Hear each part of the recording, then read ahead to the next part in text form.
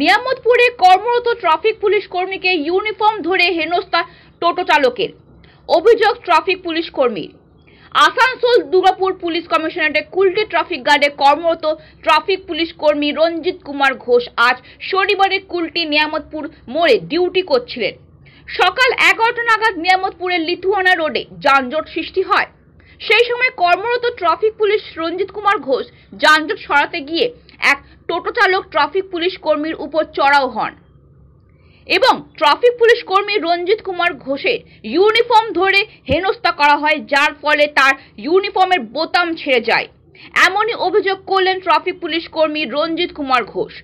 ঘটনার পর টোটো চালক টোটো ছেড়ে পালিয়ে যায়। পরে টোটোটিকে বাজেয়াপ্ত করে নিয়ামতপুর ফাঁড়ি পুলিশের হেফাজতে দিয়ে দেওয়া হয়। ঘটনার খবর শুনে ট্রাফিক ওসি ইমতিয়াজুল হুক ঘটনাস্থলে পৌঁছে ঘটনার বিষয়ে তদন্ত শুরু করেছে। আপনারা দেখছেন আসানসোল নিউজ।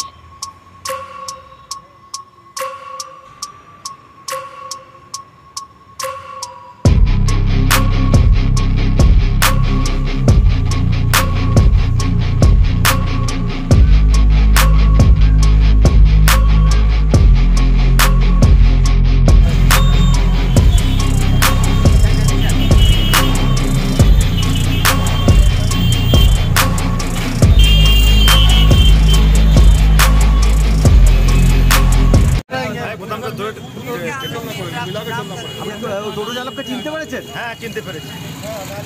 এটা কি আপনার সাথে ধস্তাধস্তি করেছে? ওকে আমি বললাম যে তুমি এখানে কেন দাঁড়িয়েছো? তোমাকে বারবার নিষেধ করা সত্ত্বেও আমি ওকে ফাঁড়ি নিয়ে যাওয়ার পরিকল্পনা করছি। ঠিক আছে? ও তখন জবরদস্তি করছে আমার সঙ্গে। যে আমার বোতামও ছেড়ে দিয়েছি আপনি তো। আপনার নামটা দাদা আমার রঞ্জিত কুমার ঘোষ। টোটো চালককে পেয়েছেন?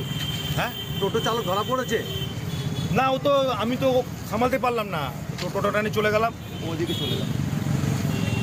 হ্যাঁ চিনতে পেরেছি। কি আপনার সাথে ধস্তাধস্তি করেছে? ওকে আমি বললাম যে তুমি এখানে কেন দাঁড়িয়েছো? তোমাকে বারবার নিষেধ করা সত্ত্বেও আমি ওকে ফাঁড়ি নিয়ে যাওয়ার পরিকল্পনা করছি ঠিক আছে? ও তখন জবরদস্তি করছে আমার সঙ্গে। যে আমার বোতামও ছেড়ে দিয়েছি আপনি তো।